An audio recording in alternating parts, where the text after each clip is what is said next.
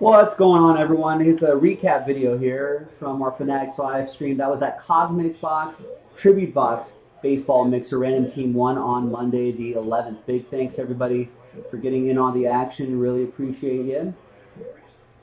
Thank you, thank you, thank you. Now, let's see what we got. Not sure if this is really in any order, but here's the recap. Arraez to 199. We got Uranus, Julio Rodriguez. Wow, that's nice. Mariners. Who had the? Hoya with that one. Nice Anthony Rizzo. Relic and autograph for the Yankees. That went to Hoya. The Vlad Guerrero Jr. went to Viking. The Chrome Zone to 50. That's going to go to Hoya.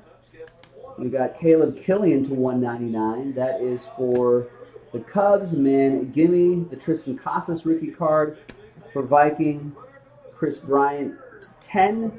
Trey Mancini to 150 for the Astros. That's going to be for Johnny. And then we have the Mike Schmidt, Bryce Harper dual relic. 7 out of 10. Some nice low numbers there as well. Thanks, everybody. Thanks for joining. I'll see you next time, the next Fanatics Live break.